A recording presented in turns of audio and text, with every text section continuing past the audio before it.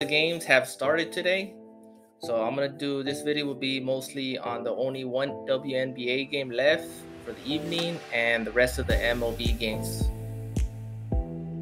So let's start with the discount that Prize Picks has today.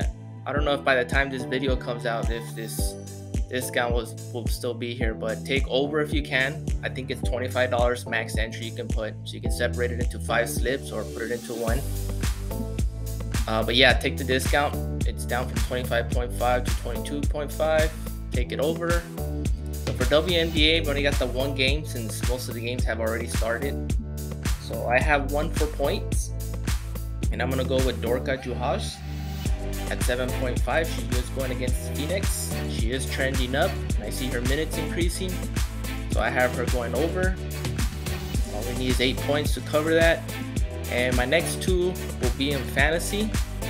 And it's to be for Napheesa Collier.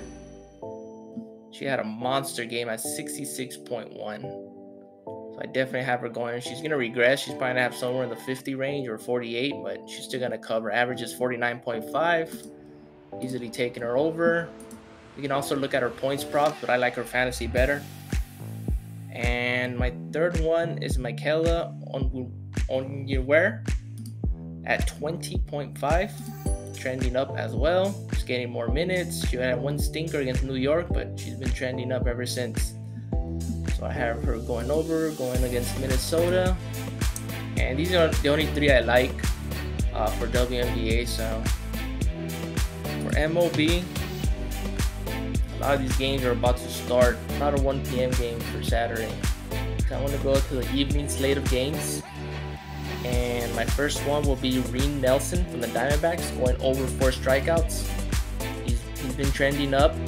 Uh, worst case scenario, he pushes, but he should easily get four strikeouts in this game. Going against the Angels, have him going over. And then my next two, I have one for pitcher fantasy, and I have one for strikeouts, uh, which I already did. Well, almost hits allowed. I'm sorry about that and it's going to be with Tyler Glasnow going against the Mariners. I have him at four. They rocked uh, Shane McClanahan yesterday pretty good, so I don't think they're going to do it the same as damage as Glass now, as he's the ace.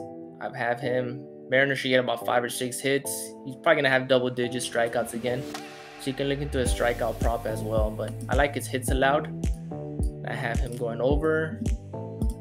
My last one is on pitcher fantasy score, and I have a bounce back candidate with Marcus Stroman, 28.5. He pitches deep into the game. He is going against the Guardians, or a good contact team, so his strikeouts might be low.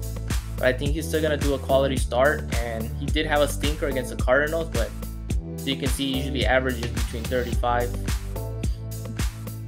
So I have him going over. Not sure if he's gonna get the win, against the Guardians, but I'm pretty sure he's gonna have a quality start he should pitch deep into the game. So I have him going over. So I got these six. Uh, you can take one out if you can, or you can take the substitute with the discount that Price Pitch has. Uh, but these are the six that I like with Dorka over points, Napheesa Collier over fantasy, Michaela over fantasy, Ryne Nelson over pitcher strikeouts, Glasnow over hits allowed, and Marcus Stroman over pitcher fantasy score. So hopefully we hit. Please like, subscribe, and comment. And I'll have a video out for KBO as yesterday we crushed. We two extra money, so we doubled it. So hopefully we hit again. I'll see you guys in the next one.